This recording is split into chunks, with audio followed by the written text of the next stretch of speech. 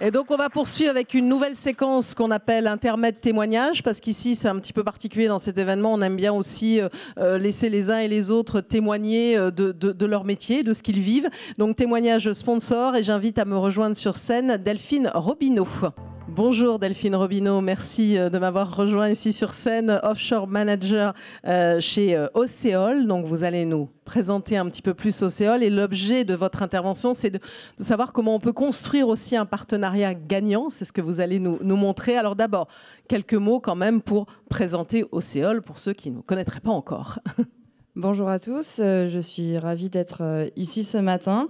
Océol, c'est un partenariat qui est dédié euh, à l'éolien flottant en France.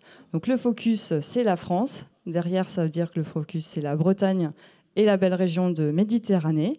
Nous participerons donc euh, à la O5 Bretagne Sud. Nous avons été qualifiés euh, et ça a été annoncé la semaine dernière et nous espérons donc pouvoir participer à celui de Méditerranée. Océol, c'est trois acteurs majeurs des éoliennes renouvelables. Et on a comme vision et comme mission de pouvoir développer des projets performants pour une énergie qui soit euh, propre, durable, euh, mais également euh, fiable et abordable. Alors pourquoi un partenariat? Pourquoi un partenariat? Parce que l'éolien en mer et l'éolien flottant sont des gros projets, des projets très complexes dans un milieu difficile. Ça a été mentionné avant. Il y a des vagues, il y a du vent, il y a des opérations maritimes complexes, des dimensions très impressionnante et on, peut le voir sur certaines vidéos. C'est donc une multitude de compétences. Il y a plusieurs phases, mais il y a également donc euh, une multitude de risques hein, et besoin de, compétences très variées, très complémentaires. Et c'est ce qu'on a cherché à, rassembler sous la bannière Océol avec ces, trois sociétés. Alors, ce qui est intéressant, c'est d'avoir aussi un retour d'expérience, voir comment justement une, expérience est réunie au sein euh, d'Océol.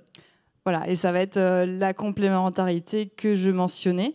Euh, tout simplement, donc Equinor est le leader de, l'éolien flottant avec un premier démonstrateur à la fin des années 2010.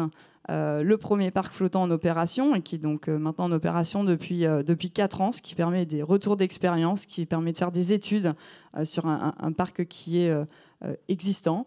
Et, dont on va témoigner dans un instant, d'ailleurs, juste après votre, votre intervention. tout à fait. Et c'est également euh, des expériences de construction euh, qui seront très importantes pour structurer la, la, chaîne de valeur industrielle locale.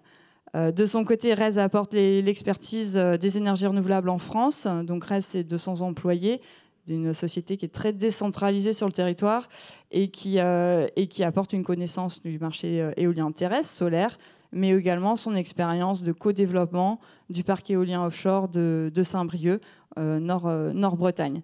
et le, dernier partenaire, Green Giraffe, c'est une expertise financière qui est reconnue euh, mondialement, un des premiers conseillers pour le financement de projets éoliens en mer, et qui s'est lui aussi ouvert à l'ensemble de la chaîne de valeur des projets renouvelables en France et surtout dans le monde, vu que c'est un enjeu mondial, je le rappelle, on est tous sur la même planète. Voilà. Clément Weber aussi de Green Giraffe était euh, hier euh, sur ce plateau. Alors justement, quelles sont les compétences clés? Comment sont-elles associées chez Océol?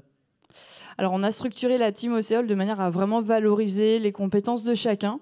Euh, Green Giraffe va donc prendre en charge le modèle financier, s'assurer d'avoir une solution économique fiable et une performance économique durable sur l'intégralité des, des, phases. Equinor va prendre en charge la majorité euh, des études techniques et des phases d'ingénierie, donc la phase industrielle. Euh, Giovanni Picotti est, présent sur, euh, sur le salon. Il ne faut pas hésiter à passer nous voir sur le stand des vins pour ceux qui ont des solutions sur la partie industrielle. L'objectif est d'ici quelques mois d'avoir un plan industriel préliminaire pour mmh. pouvoir déclencher le projet si on est lauréat. Et enfin, reste fait le travail de proximité, le dialogue, euh, pilotage des études environnementales, euh, afin de, bien comprendre aussi euh, les enjeux, le contexte, et, de répondre à toutes les attentes qui ont pu être exprimées lors du débat public et qui sont exprimées dans le débat public méditerranéen en ce moment. Donc on a bien compris hein, les compétences, comment ça se répartissait. Mais alors qu'est-ce qui fait la différence d'Océol alors, euh, au-delà peut-être de l'expérience que j'ai mentionnée, je, pense qu'on est quand même une équipe qui, euh, malgré le fait qu'on s'est constitué en, période euh, Covid, on est une équipe qui fonctionne très bien. On a une petite alchimie, on a cette petite étincelle, on a des étoiles dans les yeux lorsqu'on parle de nos projets. donc vraiment un esprit d'équipe, des valeurs. L'objectif, les prochains mois vont être difficiles pour tout le monde d'ailleurs, mais on a envie de se faire plaisir en même temps qu'on travaille.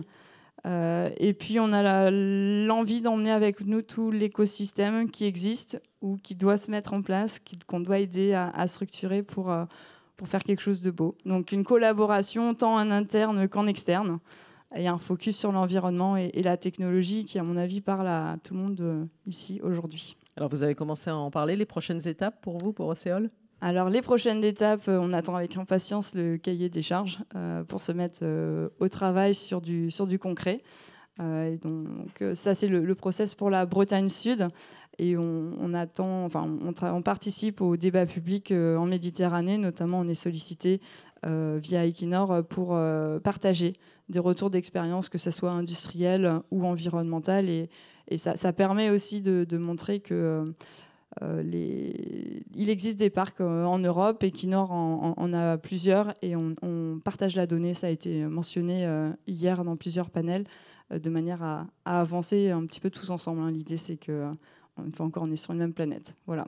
Bah, merci beaucoup à vous pour votre témoignage. Merci Delphine Robin. On peut vous merci applaudir. Pour votre assistante.